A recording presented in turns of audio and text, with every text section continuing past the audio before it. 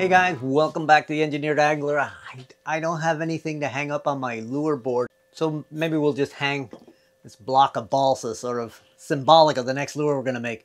But this week I'm gonna test some really cool stuff. I got two lithium batteries that the manufacturer claims will crank motors, which is a huge game changer because that means you don't have to have a mix of batteries on your boat. You can have your cranking battery and your trolling motor batteries and your house bank batteries, all those batteries be lithium. I mean, if you want batteries that last a long time, are much lighter, uh, they'll go through a million cycles, can you can cycle them down to almost zero without damaging them. All those positives about lithium and be able to crank a motor, I don't know. I haven't tried them. We'll try them on a few different size motors, see what happens. So I've got two batteries, one from WattCycle, and you can see I haven't really even taken it out of the box yet. I did open it up so I could get it charged. And I got another one from LiTime.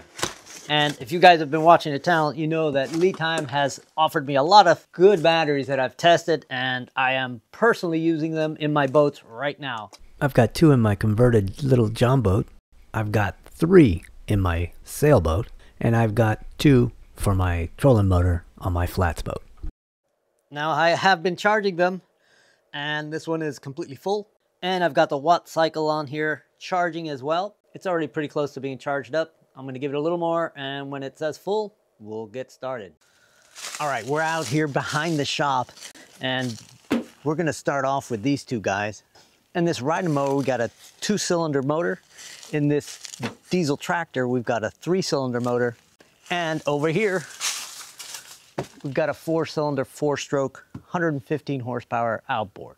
Now the big question I had was how are those 100 amp hour batteries gonna generate the amperage it takes to crank up something like this? Because we all know when we go out shopping for a good marine battery, we're looking at cranking amps, cold cranking amps, marine cranking amps, all ranging above 800, 900, 1200. So it's a little bit weird that they can actually generate cranking amps from a battery that typically can't produce more than 100 amps sustained without sort of shutting itself down. Now looking at the paperwork on the LiTime batteries, this is actually a 140 amp hour battery and it claims to be able to generate 1200 marine cranking amps or 900 cold cranking amps. That's about as good as a decent quality marine battery, lead acid battery can do. And besides being also Bluetooth accessible, the LiTime battery also has a really neat feature. It's a power reserve. This guarantees you'll always be able to crank up your outboard at the end of the day. Neither one of these batteries are designed to be automotive battery. So I don't think you can take one of these things and put it in your car probably shouldn't. But for a boat with an outboard or even an inboard, and like my little sailboat that I have a little diesel, and in fact, that sailboat has exactly the same motor that this thing has. It's just been changed for marine use. It's got a three cylinder, 17 horsepower motor in it. And if you know anything about diesels, you know that it's all about compression. So they're difficult to crank. In fact, the battery in this thing I have to keep on a trickle charger all the time all right, it's turned itself off. Battery's charged up. Let's start testing these things. All right, as far as the, uh, the appearance and weight and everything of these batteries, they're about the same. The only thing I, I really like a little better of the WattCycle is that it has the standard lugs here.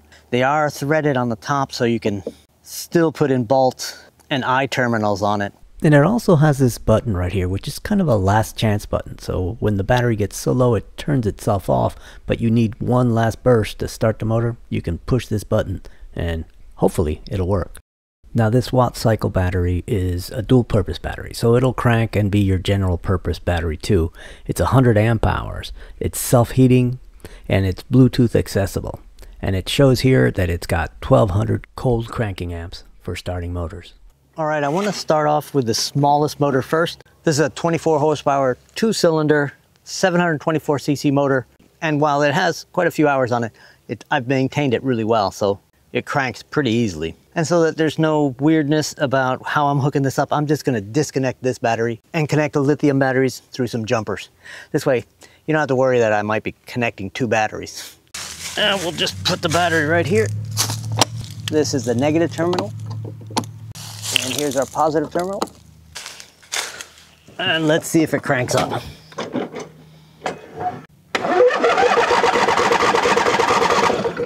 Seems to be cranking it pretty good.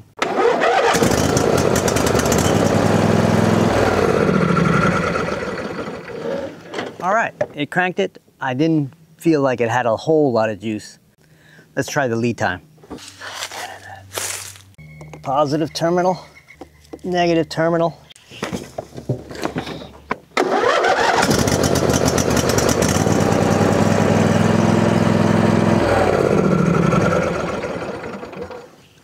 You know, I really didn't hear much of a difference. I was expecting it to really crank it fast. At this point, I was thinking that maybe those jumper cables really weren't up to snuff and I needed to connect directly. So I decided to go ahead and pull this battery completely out and connect it directly to the terminals in the tractor.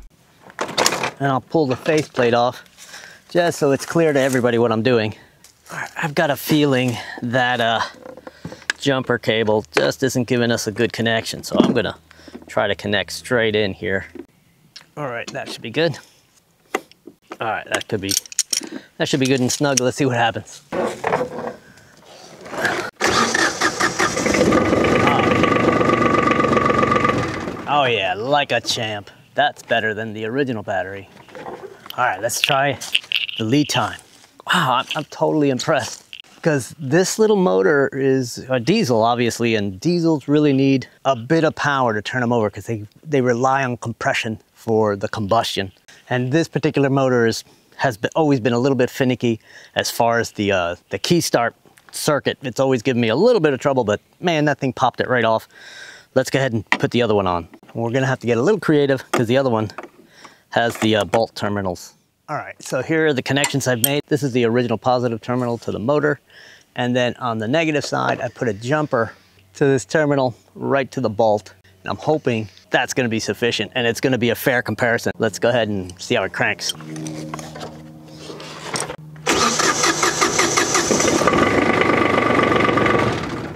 Like a champ. Wow, a little bit of smoke. She's an old girl. I can't believe that. That's so much better than my other battery.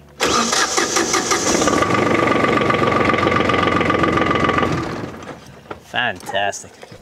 Time to crank the Yamaha outboard. All right, and we'll put a little bit of water on because you gotta have water whenever you crank your motor. Never crank your motor without water on. It's not about not overheating, it's about not destroying your water pump because the only thing that lubricates that thing is water. These bigger batteries are going to be difficult to fit in there, so I got the old battery out of there for sure, and then barely had the space to squeeze this thing in here. We're starting off with the LiTime battery.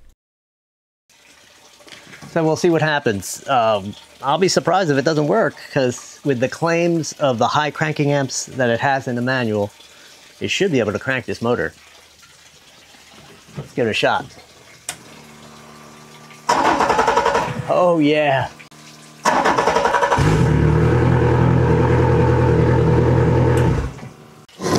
All right, now I'm super curious about whether that WattCycle battery is gonna work in the same kind of arrangement.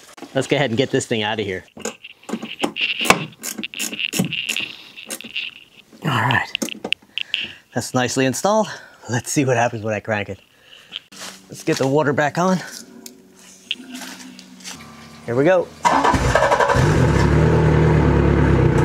Wow, I am shocked.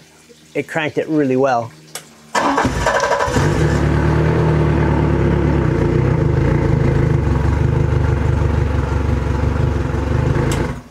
These, both of these batteries crank really well because this Yamaha doesn't like to be cranked slowly. It likes to really get revved. Oh yeah. All right, some thinking to do now. 140 amp hours or just 100? I gotta think about this. So I gotta wrap my head around this. Um, this obviously, um, to me anyway, had the greater cranking power, but it is a bigger battery. It's 140 amp hours, this is only 100 amp hour. I do like those standard terminals on this battery. As far as cranking motors, I think they do a killer job. Now, neither one of them is really meant to be in a car, so do not put this in your car. But that's because the charging system in your car is very different, and these aren't really meant to be charged directly from an automotive uh, alternator, so don't put them in your cars. And if you're concerned about the alternator in your boat, you can put a little alternator saver. Uh, it's a small device that uh, keeps a constant load on the alternator. Or you can just do what I do and just have a small lead acid battery in the circuit just to keep things from getting any more complicated. This has 40% greater power, but it also feels about 40% heavier. I have to say, I mean, if, if all you have is a small outboard, the, uh, the WattCycle will do you just fine. And if you want to be able to do more than just crank and have some operating amp hours, uh, this thing really will give you a lot of juice for the money, I think.